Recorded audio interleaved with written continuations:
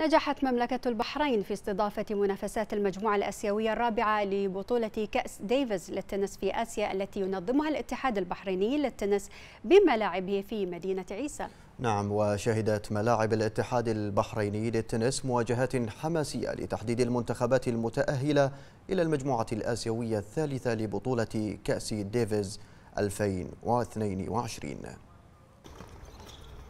اختتمت منافسات المجموعة الآسيوية الرابعة لبطولة كاس ديفيز للتنس في آسيا التي يستضيفها الاتحاد البحريني للتنس على ملاعبه في جامعة بوليتكنيك بمدينة عيسى بحضور جماهيري كبير حيث شهدت البطولة منافسات حماسية وسط مشاركة 13 دولة آسيوية. بطولة كبيرة وكاس ديفيز. لما تقام في البحرين آه، بهذا المستوى الكبير. أكيد هذه لها مردود كبير على تطور رياضة التنس.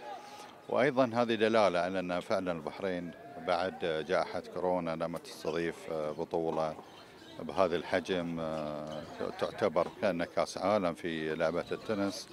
فهذا الشيء يعني يكون مطمئن لنا أن فعلا رياضة التنس البحرين بخير وأن عندنا لاعبين وعندنا منتخب وعندنا مجلس إدارة برئاسة سعادة الشيخ عبد العزيز قادر على أنه هو ينظم ويطور وأيضا يخلق فريق قادر يشارك في مثل هذه اللقاءات والبطولات الكبيرة.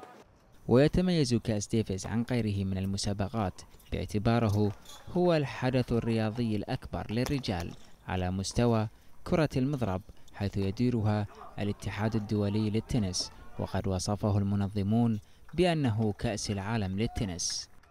بطولة ال Davis Cup Davis Cup آه هذه البطولة تعتبر كأس العالم بالنسبة للعبة التنس. فإحنا في البحرين آه منحونا أن إحنا نستضيف هذه البطولة لثاني مرة.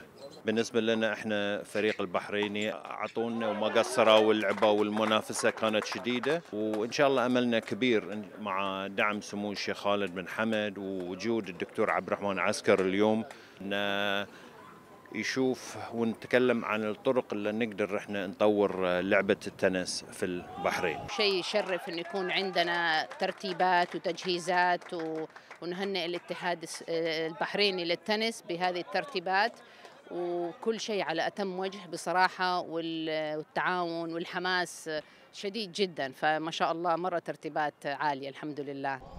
هذا الحضور الكبير والنجاح التنظيمي في بطولة كاس ديفيز. من قبل مملكة البحرين يؤكد على قدرتها باحتضان مثل هذه البطولات خاصة مع الإمكانيات العالية التي تسخر بها المملكة.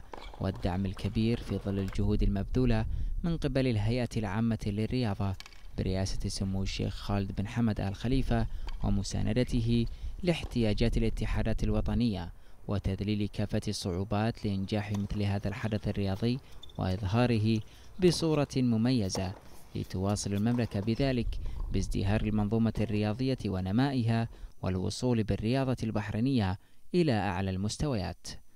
طلال نايف لمركز الأخبار تلفزيون البحرين.